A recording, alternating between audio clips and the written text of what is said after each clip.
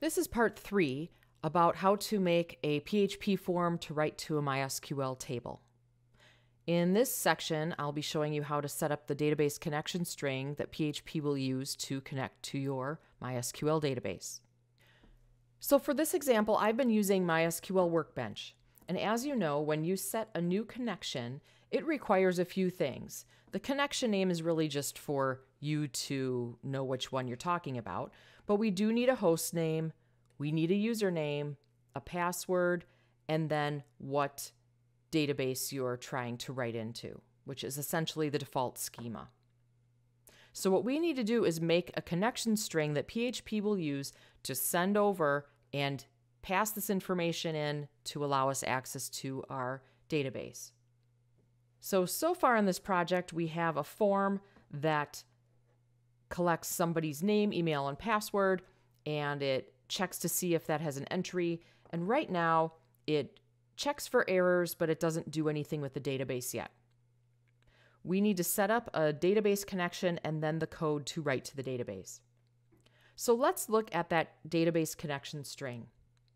Now the file I'm going to show you, I stripped out my information, but notice this is a brand new file. I called mine dbcon. This would be the actual file here.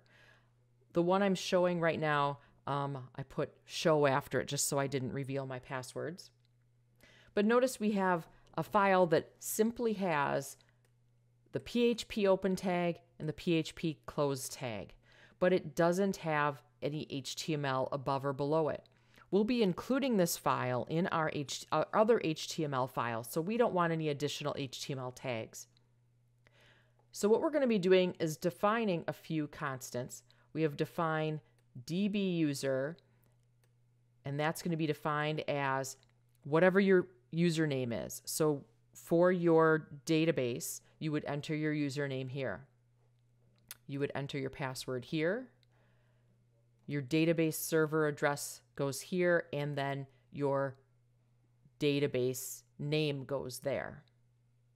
This is not the table name, this is the database name.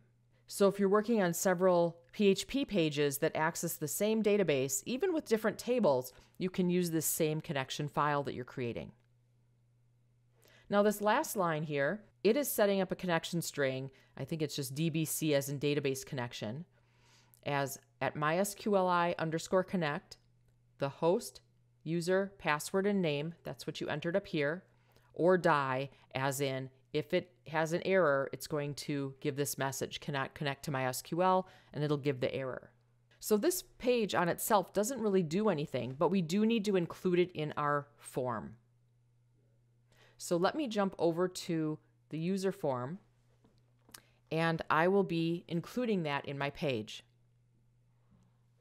I need to do that inside of my PHP tag. If I'd like to put it inside the server request method, I could do that. I could also just go ahead and put it in the PHP.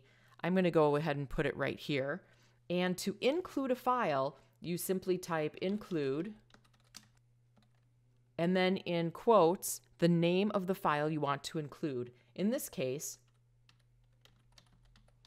I want to include the file dbcon.php, the one that I actually have my information in.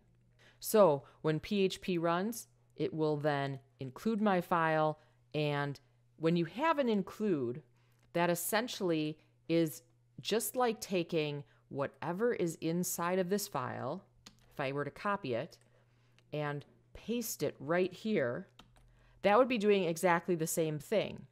But the problem with that is, let's say I change database locations, passwords, things like that. I would have to go into every file that I have it in and edit.